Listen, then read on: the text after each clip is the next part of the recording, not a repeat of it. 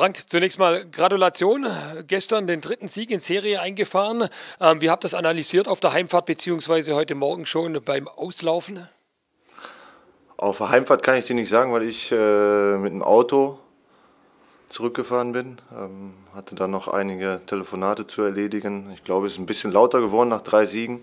Das haben die Jungs sich auch verdient. Ähm, ich denke, wenn man den Spielverlauf sieht, ähm, bin ich mit 75, 80 Minuten sehr, sehr zufrieden. Ähm, das, was wir uns erarbeitet haben, was wir vorgenommen haben, was wir umgesetzt haben, wie wir es umgesetzt haben, das war schon richtig gut. Ähm, ich glaube auch nicht unverdient, dass wir zum gewissen Zeitpunkt dann noch 3-0 geführt haben.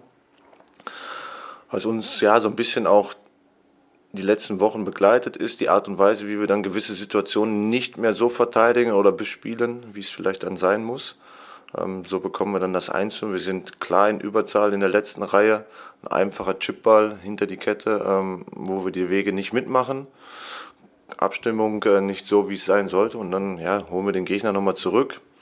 Und dann nochmal in der 93. auch ja, zu einfach das Gegentor. Aber am Ende des Tages muss man dann auch diese Entwicklung, diesen Prozess wiedersehen, den die Jungs da auch, auch gegangen sind die letzten Wochen. Es waren keine einfachen Wochen, ähm, immer wieder auch Verschiebungen, Verletzungen, Umstellungen, Umstrukturierungen innerhalb der Mannschaft. Äh, ja, das ist alles äh, nicht immer einfach zu handeln, aber die Jungs ziehen voll mit und ja, es freut mich dann zu sehen, dass man dann auch diese Prozesse, die auch über die Saison hinausgehen, ja, nach vorne gehen. Du hast die Entwicklung angesprochen. Ihr seid gestartet im Sieg. Dann gab es äh, die drei Spiele, bei denen die Ergebnisse nicht gepasst haben. Jetzt seid ihr durch die drei Siege an, auf Platz 6, habt ihr euch so festgebissen im oberen Tabellendrittel. Wie siehst du diese Gesamtentwicklung der letzten Wochen? Ja, ich sehe sie von Anfang an. Für mich ist das ja nicht ein Prozess, der von heute auf morgen beendet ist oder abgeschlossen ist, sondern das wird ein Prozess, eine, ein sehr, sehr langer Prozess sein, auch so wie letzte Saison. Und, und auch da haben wir dann im letzten Drittel der Saisonphase richtig guten bis überragenden und dominanten Fußball gespielt, mit einem Selbstverständnis, mit, mit Automatismen, die, die man sich ja dann über die Zeit dann auch erarbeitet und mit der Individualität oder der Kreativität wo wir da sehr, sehr gefestigt sind. Und es ist doch klar, dass wir nach der Saison mit der Fluktuation, die wir auch jetzt hatten, erstmal ja, da die Basis wieder schaffen müssen, äh, die Individualität im Einklang bringen zu dem, was wir vorhaben und auch da diese Schwankungen, ja, der Schritt vom Jugend zum Seniorenspieler, dass wir die auch da mit begleiten und das wird nicht von heute auf morgen sein, aber ähm, das habe ich den Jungs auch gesagt, das werde ich ihnen garantieren, dass es dann in der zweiten Hälfte zum Ende der Saison auf jeden Fall deutlich, deutlich zu sehen ist und das war letztes Jahr so und das wird dieses Jahr auch so sein. Ich hoffe und wünsche mir, dass es die Mannschaft schon früher schafft, äh, eine Kontinuität, eine, eine Klarheit auch in den Ergebnissen zu erzielen.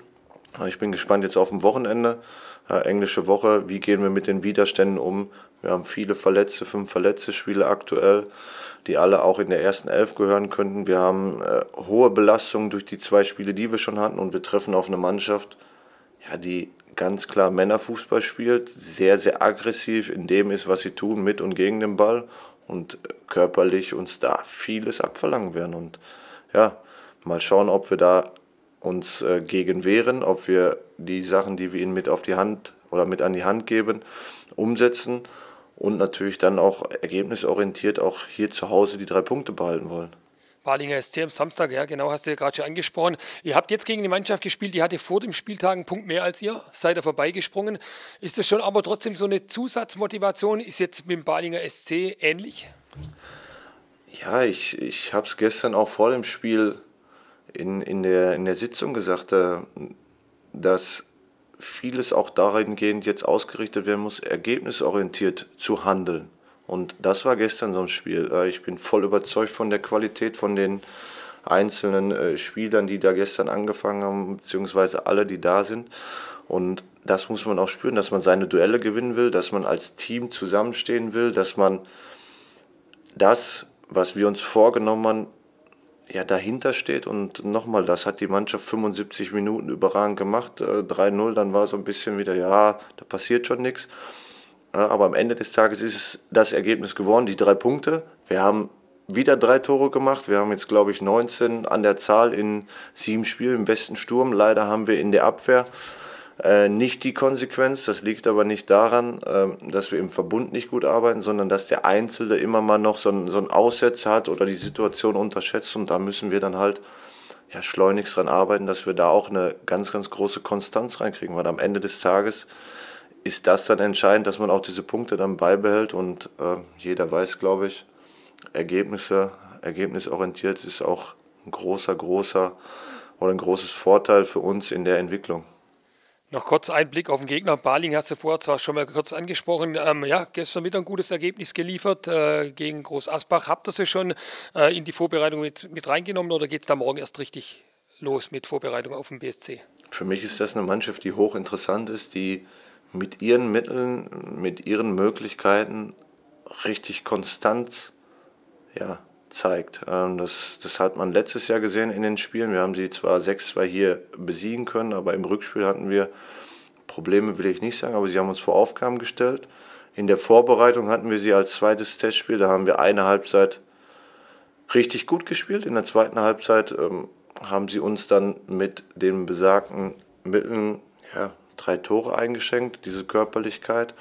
Und sie wissen, was sie wollen. Sie wissen, was sie können und was sie nicht können. Und äh, ja, das wird eine hochspannende Aufgabe mit äh, einer Mannschaft, die sehr, sehr interessant ist für mich.